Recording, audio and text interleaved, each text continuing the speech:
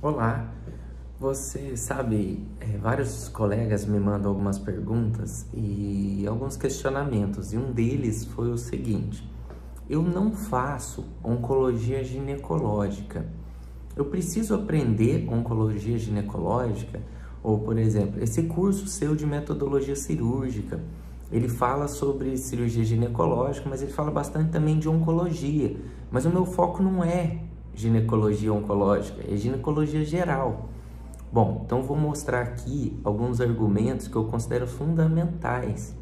Veja só, vocês sabiam, muitos de vocês com certeza sabem, mas que o ureter ele fica a menos de 2 centímetros do infundíbulo pélvico. Então, na hora que a gente vai fazer a ligadura do infundíbulo pélvico, a gente está trabalhando com uma estrutura nobre a 2 centímetros da onde nós vamos fazer a ligadura. E muitas das vezes nós não a identificamos. Vocês sabiam que o plexo hipogástrico ele fica a mais ou menos 3,5 centímetros ou 4 centímetros do infundíbulo pélvico? Quando você vai fazer a ligadura do infundíbulo pélvico, você faz essa medida para fazer a ligadura ou até os 2 centímetros do ureter?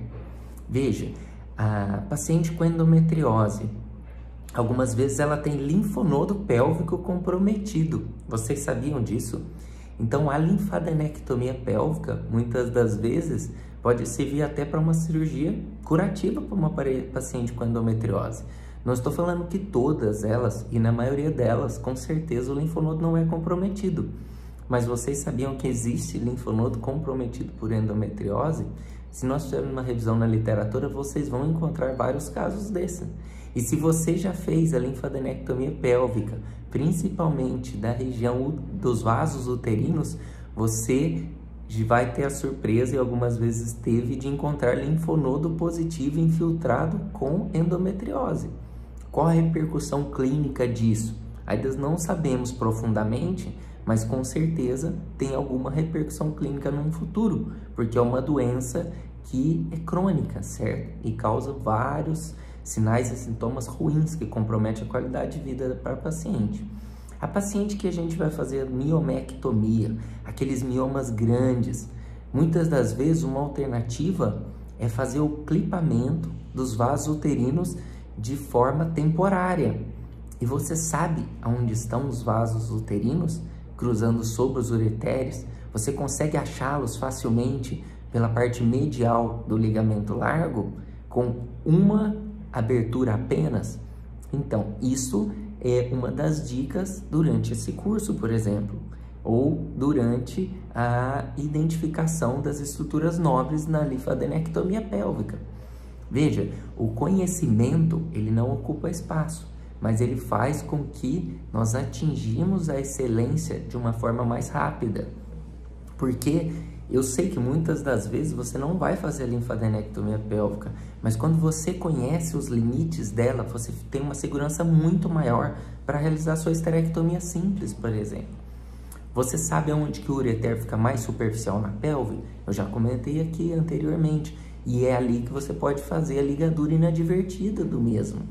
Então, para isso e para vários outros motivos, mas esses eu já apontei alguns, por exemplo, os nervos pélvicos. Você sabia que o tronco lombosacro ali fica muito próximo, mas muito próximos mesmo dos vasos ilíacos externos?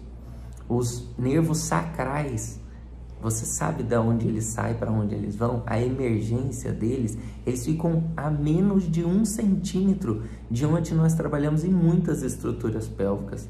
Então, esse conhecimento foi dado através da metodologia cirúrgica e a dissecção de cadáver. Isso faz com que mude a sua prática diária da vida cirúrgica, pode ter certeza.